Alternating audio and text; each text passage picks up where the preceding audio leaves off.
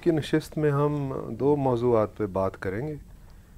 एक तो हमीद अख्तर साहब को उनकी वफ़ात हुई है, वो लेफ़्ट विंग के एक जाने माने एक्टिविस्ट थे और लिखने वाले भी थे।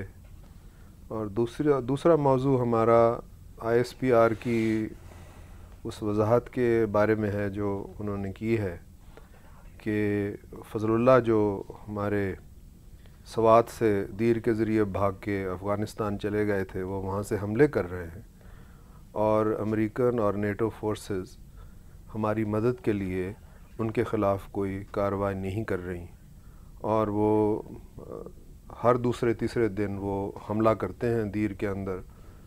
और अच्छी भली लड़ाई होती है जिसमें हमारे नौजवान मारे जाते हैं। हालाँकि उनके मेरा ख्याल ज़्यादा मारे जाते हैं, लेकिन फिर भी ये एक मसला ज़रूर है। तो मैं इम्तियाज़ आलम साहब से पूछूँगा कि इस मसले के बारे में उनके क्या ख्याल हैं? हाँ एक तो ये हमीद अख्तर साहब हमारी अंजुमन तरक्की पसंद मुसनफ़ीन के बड़े जैद लोगों में से थे। उनका ताल्लुक साहिर लुधियानवी, फैज़ फैज़ और जो तरक्की पसंद तहरीक के जो दानश्वर थे, अदीब शायर, उनमें से था। और वो बड़ी ज़िंदगी के आखिरी मरहले तक वो अपना किरदार अदा करते रहे, कॉलम लिखते रहे, फ़िल्म से भी उनका ताल्लुक़ था और अदब से बहुत ताल्लुक़ था। इनका किरदार दूसरे लोगों समेत ये रहा है कि इन्होंने पूरी नस्लों को अदब से और इंसानियत से मोहब्बत और रोशन ख्याली और सवाल करना और सोच विचार करना और बड़ा सेकुलर सोच और ऐसी सोच जो नफ़रत को को फ़रोग नहीं देती थी। फिर पाकिस्तान में जो ख्याल की और नज़रियात की जो जंग हुई है, उसमें इन लोगों का बड़ा किरदार रहा कि पाकिस्तान जमहूरी मुल्क हो, आमराना हो, वफाक हो, वहदानी हो, सूबाई मुख्तारी हो, न हो, अकलीतों के क्या हकूक़ हो, इंसानी हकूक़ क्या हों, औरतों के हकूक़ क्या हों। फिर अदब का किरदार क्या है, अदब का रोल क्या होना चाहिए, फ़िल्म का रोल क्या होना चाहिए परफॉर्मिंग आर्ट्स क्या हों। यहाँ तो बिल्कुल आप देखिए, करबला रहा है परफॉर्मिंग आर्ट्स का भी और इख्तलाफ राय का और रोशन ख्याली का वो हम, जेर, वो हमलावर उस पर हमला रहा है। और ये लोग मुसलसल कैदोबंद की सहूबतें बर्दाश्त करते रहे अखबार से निकाले जाते रहे, ख़ास तौर पर ज़ियाउलक के ज़माने में इन सबको यूनिवर्सिटियों से और इदारों से निकाल दिया गया। हमीद इनकी अमीर अख्तर साहब की खूबी ये भी थी कि ये बड़े अमलीत की सोच के हामिल आदमी थे। इन्होंने दुनिया के बदलते हालात के हिसाब से ख़ुद को बदला। बहुत सारे जो लोग पुरानी नज़रियाती लेफ़्ट के लोग थे, वो फंसे रहे। लेकिन हमीद अख्तर उन लोगों में से थे जो हालात के बदलने के साथ साथ जिन्होंने अपने ख्याल में और अपने अप्रोच अप्रोच में तब्दीली की। तो हम उन्हें बड़ा खराज अकीदत पेश करते हैं। आज उनका, उनकी नमाज़ जनाजा हुई यहाँ लाहौर में। जो बड़ा इशू है खालिद साहब, वो है कि ये जैसे आपने ज़िक्र किया इसका मैं ज़रा चाह रहा था कि इमरान साहब से पूछूँ कि हमीद अख्तर साहब के बारे में उनकी राय। हमीद अख्तर साहब से हमारा ताल्लुक़ जो बना वो वही ज़ियाउल हक के पीरियड में। हम उनसे मुलाकात करते थे रहनुमाई के लिए। उनका मौक़ सारी उम्र डेमोक्रेसी के लिए। इट वॉज़ फिनमिनल हमेशा उनकी बात जो है वो यही रही कि लोगों की बात करते थे वो। और जैसे इम्तियाज़ साहब ने अभी फरमाया है कि हालात के साथ वक्त के साथ साथ वो बदलती हुई सूरत हाल के बारे में एक अपना मखसूस मौक़ रखते थे चीज़ों के बारे में। आगे बढ़ने में बात करते थे नौजवानों के लिए।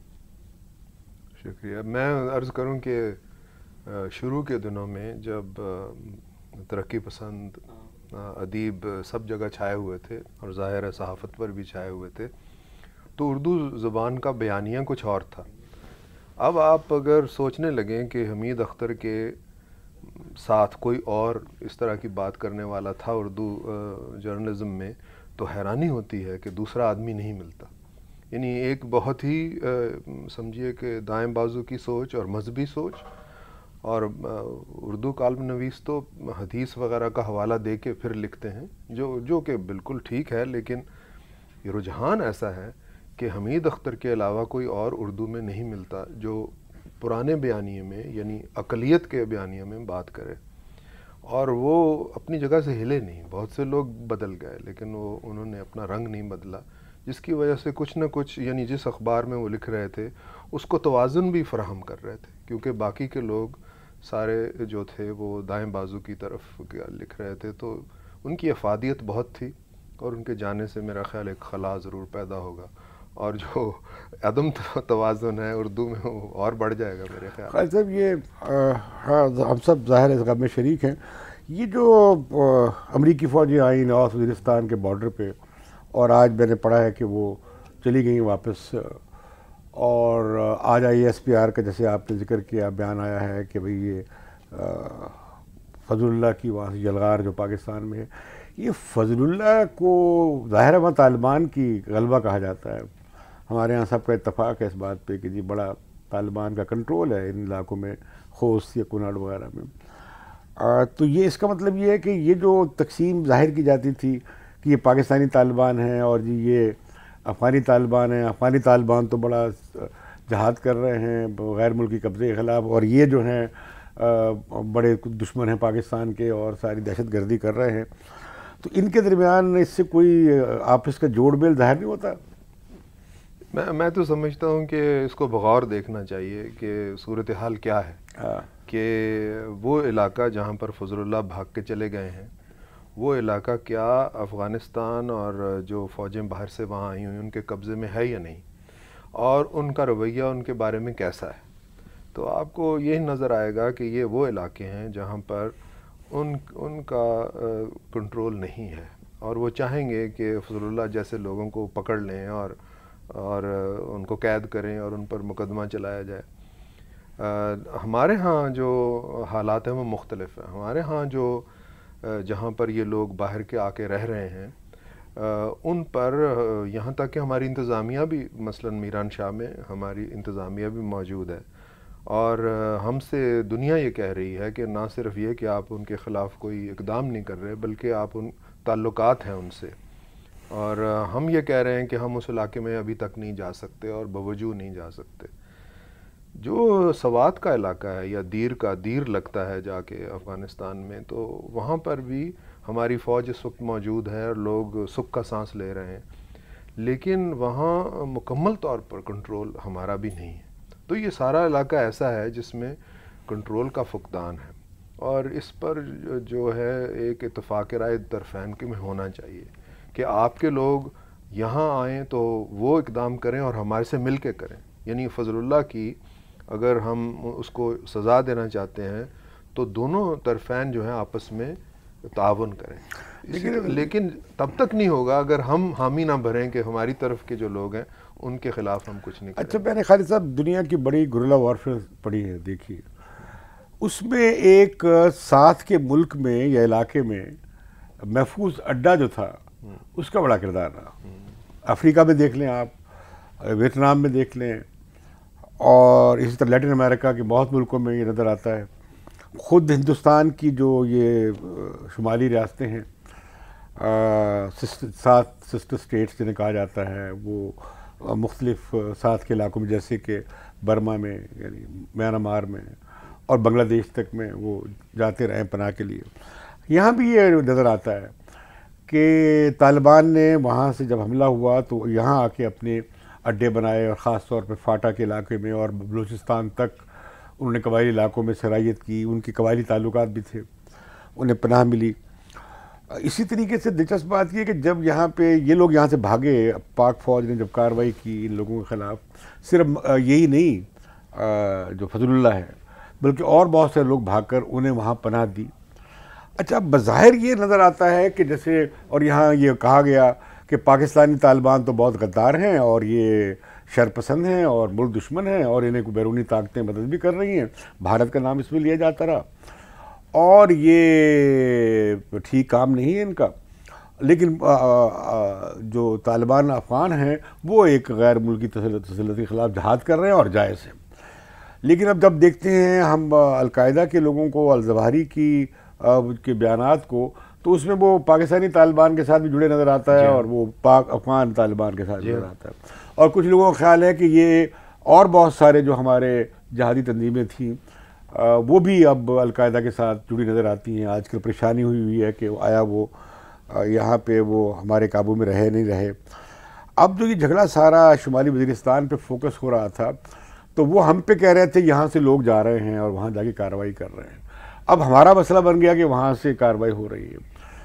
आ, जैसे खालिद साहब आपने कहा है कि इसका रास्ता और कोई नहीं है कि ना अफ़गानिस्तान में इनके लिए कोई पनागा हो और वहाँ आई एस एफ़ और अफ़गान फ़ौजें कार और नेटो के लोग ही कार्रवाई करें और इधर हम कार्रवाई करें।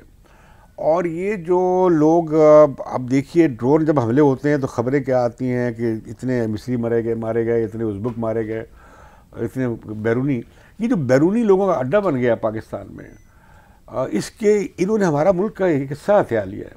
मैं सर एक बात इसमें आप लोगों से दोनों से करना चाह रहा हूँ कि असल में एम्बिग्विटी बहुत है इन सब क्या होती है? आई मीन एम्बिग्विटी सफ़ाई नहीं हाँ।, हाँ। मतलब वो क्योस की सूरत हाल है। फजलुल्लाह है कौन? किसके लिए काम करता है? क्या काम करता है? हमारे अखबार हमारे टीवी एंकर्स हमारा टीवी तो उसको भारत का एजेंट करार देता है जबकि वो इस्लामी जहाद कर रहा है। तो अभी आपने जैसे फरमाया है कि वो एमन अल जवायरी सबके लिए काम कर रहा है। सबका साथ दे रहा है वो। वो उसके बयान से ये कतन ये नहीं लगता कि वो सिर्फ़ अफगान जहाद कर रहा है। वो पाकिस्तान में भी अफरा तरफे अनारकी फैलाना चाह रहा है। हैरत यह है कि मैं अब, जब ये फजलुल्लाह साहब का ये शुरू हुआ फितना तो हम ये क्यास कर रहे थे कि ये जब अपना ऐलान करेंगे तो सूफ़ी मोहम्मद के साथ मुंसलिक हो के करेंगे। लेकिन उन्होंने पहला ऐलान बैतुल्ला के साथ मुंसलिक होकर किया और मैं मैं तो तालिबान हूँ और फिर अलकायदा के साथ भी अपना ताल्लुक़ पेश किया। अब बात यह है कि बैतुल्ला तालिबान ये बैत में हैं अलकायदा के। इसी तरह से जिन लोगों जो अलकायदा के साथ जुड़े हुए हैं मसल हकानी ग्रुप है वो बैत में है मुल्ला उमर के। तो जो बात आपने पहले की कि ये तफरीक करना कि ये तालिबान अच्छे हैं और ये बुरे हैं ऐसा बहुत नामुमकिन है। ये काम ये ये हम एक हमें तदरीजी अमल तदरीजी अमल नज़र आता है। कि हमने कहा कि तो बहुत हमारे लोग हैं फिर हमारा उनमें से अतमाद ख़त्म होता गया जब उन्होंने बंदूकें हम पे तानी। जी एच क्यू पर हमला किया आई सी आई के हेडकोार्टर पर हमला किया हमारे दरबारों पर हमला किया। आ, तो ये उससे ज़ाहिर हुआ कि भाई ये लोग इनका तो एजेंडा कुछ और है। ये पाकिस्तान को नहीं मानते पाकिस्तान की जोग्राफी सलामती को नहीं मानते ये पाकिस्तान के आइन को नहीं मानते। ये हमारे स्कूल नहीं छोड़ते, अस्पताल नहीं छोड़ते, ये इस पाक फ़ौज को समझते हैं कि ये ताबूती फ़ौज है आई को समझते हैं ताबूती आई है।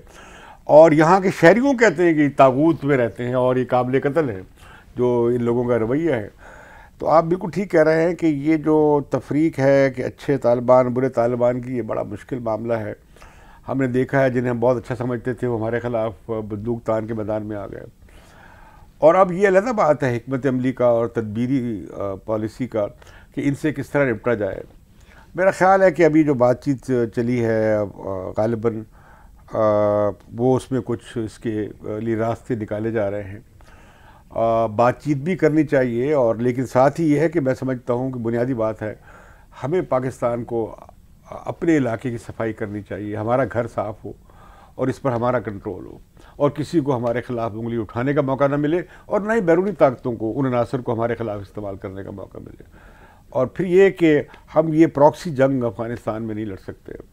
और ना ही ये मैं समझता हूँ अगर आईएसएफ के लोग ये करते हैं या अफगान करते हैं तो इसका फ़ायदा न पाकिस्तान को है ना अफ़गानिस्तान को है ना इस खत्े के मुल्कों को है। हाँ, इसमें तो कोई शक नहीं कि अगर हम ये कहें कि कि हम शर्त हमारी ये है कि अफ़गानिस्तान के अंदर एक दोस्ताना किस्म की हुकूमत आए। उससे पहले ये बहुत ज़रूरी है कि रियासत की अमलदारी पाकिस्तान में कायम होनी चाहिए। फिर ये है कि जो भी हुकूमत वहाँ आएगी वो एक तो ये उसे हमसे शिकायत नहीं होगी कि आ, आपके यहाँ ये लोग इस तरह से बैठे हुए हैं। दूसरी बात यह है कि अफ़गानिस्तान हमेशा पाकिस्तान से कमतर मुल्क रहेगा और उसका इहसार पाकिस्तान पे रहेगा। तो ये सोचना कि वहाँ पर आकर कोई और कोई फितना खड़ा करे या हमारे ख़िलाफ़ साजिश करे, ये मुमकिन नहीं है। ये आप जब, जहाँ भी पढ़ेंगे तो लोग यही लिखते हैं कि बाहर से आकर कोई पाकिस्तान के ख़िलाफ़ अफ़गानिस्तान में शरारत नहीं कर सकता, क्योंकि पाकिस्तान का गलबा इतना ज़्यादा है।